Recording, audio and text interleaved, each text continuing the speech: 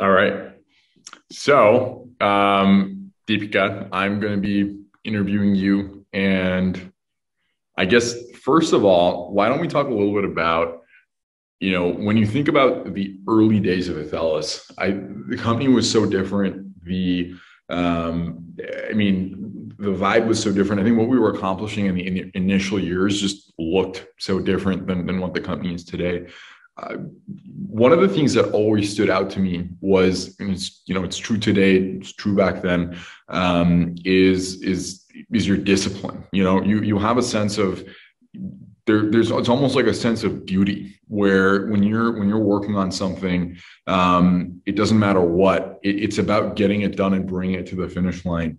Uh, talk me through, you know, one of your days in the lab running our first you know first bench trials or our first clinical trial.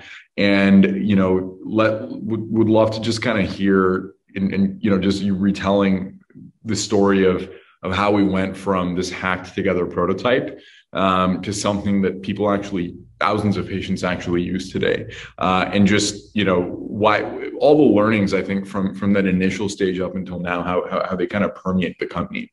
Yeah. So I think that um, I specifically remember like while we were in YC, there was um, one day. So when we were in YC, we had we had our concept generally down, but the test strip and the device were not necessarily working with each other. Um, and it was super stressful because we wanted to we wanted to end YC with a bang, and we knew the only way we could do that is to do a trial, a clinical trial end to end. And the only way we could do a clinical trial end to end was if we had a working device and strip. And so I remember us talking when we were working out of my house and we were saying, you know, we're not going to go to sleep until we figure out how this strip works. Yep. Um, and that I remember it was like I sleep relatively early compared to Tanay. Tanay sleeps at like four o'clock a.m., 5 a.m., things like that. Um, but I remember it was like, you know, we were working all day and then it was like midnight. It was like one, two, and it just started feeling like really hopeless, honestly. Like oh. it was just like, what is like, there's few things in my mind that you can't brute force with just hours yeah. you know just like raw work hours yeah. and um this it was just like so jarring to be like oh this is like this could be one of those things you know and, like and so you know for context what, what we're working on is we're we're sitting there with these little microfluidic test strip channels that we've fabbed ourselves. We have the device that's like duct taped together. We're in your garage, in your family garage um, and we're trying to we're, we're trying to make it so that we get consistent results you know from from this initial prototype. And it's clear that it works but there's you know little things will happen where the software will bug out. You know maybe the, the camera will fall off it'll go out of focus. Um, maybe the test strip doesn't fill up correctly. And we're sitting there and we're like we're not going to do this. Like it's it's it's, yeah. it's not going to be done. Like it's just not going to happen. Like this it's is a scientific problem and it's not going to happen. Yeah, exactly. And it was like we had the trial like t- like a week out or something like that. Yeah. And I remember we eventually called it like in the early hours of the morning. Yeah. And it was just like going home and like being that like we did all that work and like and the other the other thing is is that I didn't drive back then. I actually learned how to drive. Oh my god! I had to so drive before, to his house, drop him off. and literally through high school, Deepika would. I don't know why she did this. I to this day, I don't I, know why, I why she did this, but um, she would she would drive. She would literally drop me off home, and then she would have to drive back home. And uh, yeah, I mean, it was, it was very close to each other, so it wasn't like that. It was like yeah. three minutes, yeah. but um, but the thing is that I remember going home and then you know being like, cool, like this is what it is. But there was something to that though that I think that when you get your mind yeah. so in this mode where the only thing, it was like the only thing that I could think about, you know. And I remember waking up the next morning and like it's only because your mind is in that place where it's like survival that you're just like thinking about all these things and then that's when we were like oh the capillary you know like those like remember this the VitroComs. Yeah yeah. Yeah the vitro comms exactly. Yeah and that's when we started like thinking about that and and then that's really where it turned because we were like you know we could actually get a viable like test strip at least a viable distribution of like the blood at that point. And um i really feel like that's what made it possible for us to do that trial. At least that'd be one of it. I mean, obviously the strip had a long way to go, but that was. I mean, it let us prove the concept in a very clean, specific. Yeah. Um, and I, you know, what's crazy is so so anyways where i remember that night i remember the exact night you're talking about that night i was like we have to we have to put off the trial we have to reschedule it and you were like dude, we can't like like Peta scheduled this trial. Peta was, you know, she she eventually came on as our full-time head of clinical operations. But before then we were working with her and you know, she was just doing this out of the goodness of her heart that, you know, the hospital that her family worked with in, in Mexico. And um I, I and you were like, dude, no, like Peta scheduled this clinical trial. We are making this thing work. So, anyways, we we we do we scrape it together, we get it together, we fly out to Mexico. Um, and it's the two of us and Peta, and we're running a 300 person clinical trial. We are way out of our depth. Yeah. But what do we? What what what happens next? Like you know, like what what what do you remember? Like sitting out there, you know, running sample well, by yeah. So first of all, we flew into El Paso, and so the trial was being run in Juarez. And so I remember first, before we even left um, to Juarez, we watched Sicario. Um, do you remember we watched that in my house? Yes. And I, you, I feel like that was purely to scare me because you had already seen the movie that you were. Yeah, I had already seen the movie. Yeah. Then I had to explain to Tanay where we were going. And so um, we flew into El Paso and then you cross the border into Juarez. And that's where this hospital was. And, you know, it was so, so hot um like that's like the most visceral like memory that i have is just like it was unbelievably hot and like we were like water was like we needed to get water bottles. Um and i remember when we were there um so we set up this table in the front and we said basically free blood tests for everyone who comes in. Um, and on one side of the table was our device to do the finger stick blood test. And on the other side of the table, there was a nurse there who was doing a venipuncture to actually test that blood on their, you know, whatever um, kind of or yeah. Yeah, yeah. that they had. And so um, we had these patients come one by one and do both of our tests. And, and Tanay was actually in the back, in, in the back of the hospital, um, reviewing just samples, just one by one by one um, because just to make sure that they were being collected properly because it was a vision based approach and so he was able to look at them in real time and we met all kinds of patients um, it, it, was really really cool i mean we, was I was not expecting to get that kind of volume, that kind of traffic. Um, but the the one that we always talk about, like even to this day, of course, we'll always talk about it, is this one patient who came in um, previously you know like like a healthy patient. She had actually come because it was free blood testing and right. it was like her relative had come the previous day. And so she came that day with like yeah. her kids and stuff. And um, she did her you know test with our finger stick blood test and i'm just running it. And then she goes to the other side of the table where the nurse is doing the venipuncture. And then Tanay comes out back and he's like like he's just like kind of looking at me thinking like what's going on? And i was like i mean you seem so frazzled and what did you see?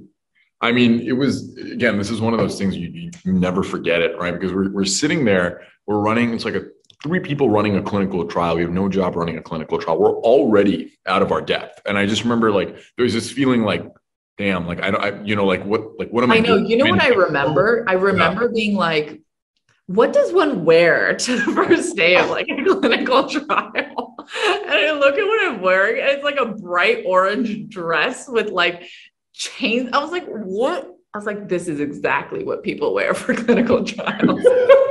and but we're like way out of our depth, and we're we're, we're you know by some you know some luck we're able to run this to begin with. Like most people stanford quoted us like a million dollars to run a trial um, you know in like six months or some crazy process like that. You know the bureaucrats doing bureaucratic things. And um and anyways like I'm in here and on I, I see the sample and you see like way more white blood cells. And the, you know, the model is classified like basically a white blood cell count like 30 or 40,000 white blood cells per microliter. And then more more starkly, like the visual depiction is like you see all these cells that are like clearly missized. Like, I mean, they're they're, they're blast cells, they're larger, they have, you know, um, malformed nuclei, like they're they're they're immature cells. And um, I, I mean, immediately like me with someone who has very little healthcare knowledge, like this is leukemia. Like this is leukemia like who do i tell like what is the process here like i'm not a nurse i'm not a doctor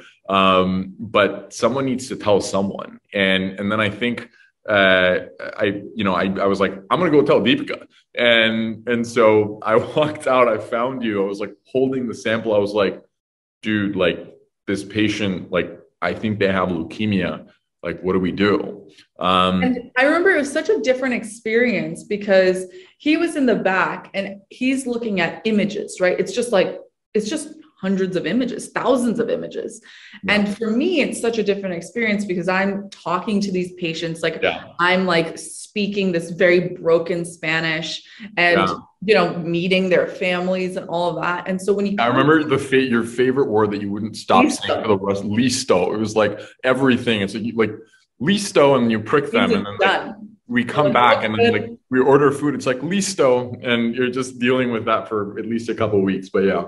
But he came out and it was such a different experience because he's coming out like being like, wow, I can't believe we caught this. And for me, it's like I'm speaking to this patient. Yeah, it's a person has cancer, right? And so, like, undetected, remember, like undetected, undetected by doctors who treat who saw her that day. Exactly. And like for me, I had spent so much of my previous years like researching in a lab and like doing all this lab work. And it was like kind of the first time that that gap was like fully bridged. Um, yeah. And you can say like translational, whatever, like you can say you're doing translational work at Stanford, but like it's really never as it was never as stark as it was in that moment. And yeah. um, we flagged it to the hospital. The, the hospital like takes it takes time, right, for them to actually confirm that result and let the patient know.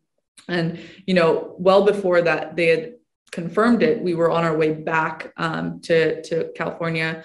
Um, we were actually going to our YC um, like weekly update meeting. Yeah. And I remember in the plane, today and I were just talking, you know, like this, this whole thing, like what we just witnessed, like this is the business, right? This is the healthcare system failing a patient.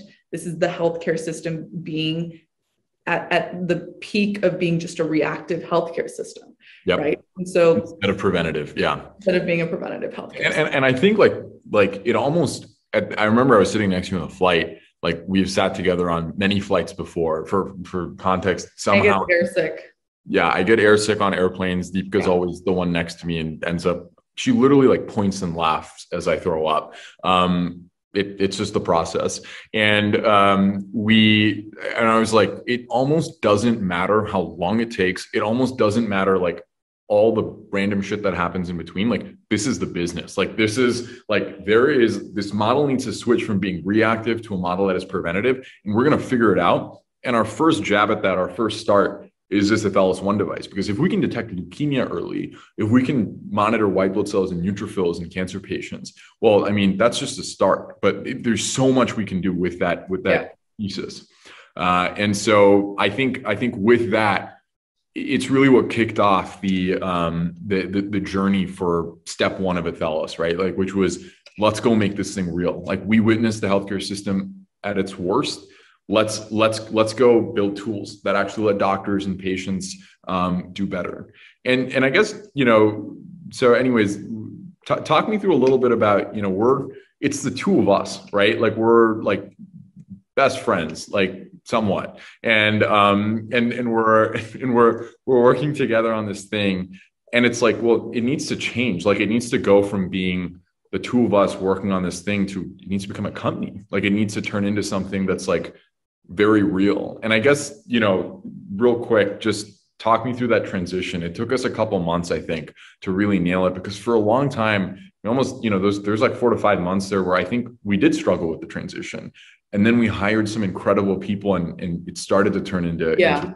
into yeah. And actually i think that you did a really good job of this. I think that I, you know, we were working out of my house and I was like post YC, and everyone will talk about this like post YC like slump, and it was a real thing that we had. Um, and you know, there was one day where Tanay was just like, "We need to get an office. Like, we raised this round. Like, we need to get an office." And just a just getting an office at if you do it at the right time, it just makes everything to feel different. You know, it's like you come, you show up to work, you you know you you make that choice to leave your office and like you don't leave your office until you feel like you've accomplished something. And you know there'll be days that you're like what actually did i do? It's it's like there's definitely a different feeling. And then you also hire people that are like far far smarter than well you far smarter than you. Um, and i think that and i think that that makes it makes a huge difference you know? Then you and then it feels like a team's coming together and then you feel like you have momentum and you're like this could happen. Like this is something that's like could happen. Um, so, but but there was definitely yeah, there was definitely a bit of a struggle. There was that post YC slump, yeah. and I think it, it, was it was crazy because like I mean, I, I think that transition was so key for us, and I think um like one one of the things that you like you, you did incredible in that period was like how do we like you brought that sense of culture i think from the beginning which was like we're not just here like slogging crazy hours like we're building for a purpose.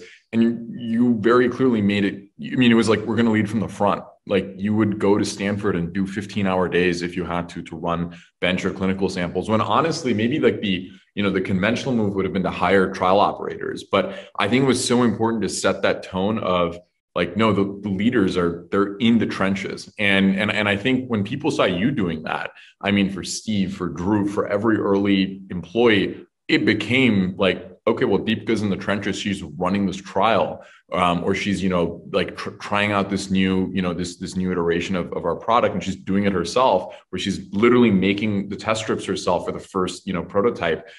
I think let's set the tone for you look we have like 80 90 people now everyone feels that and everyone breathes that. And it wouldn't have been possible without those initial couple months of, of, I think you setting that tone in the office because it was honestly important for me too. Like, it, like I, I don't think I would have been like that had it not been for, been, been for that direction that was set so early. Yeah, that's really nice thing. Beautiful. The last one. It's the last nice thing I'll say. Um, great. Well, thank you for letting me interview you and letting me chime in. I'm uh, I'm glad to know that we're uh, we, we remember the early days the same way, and I will see you soon. okay, I'll see you next door. Goodbye. I'll see Bye. you next.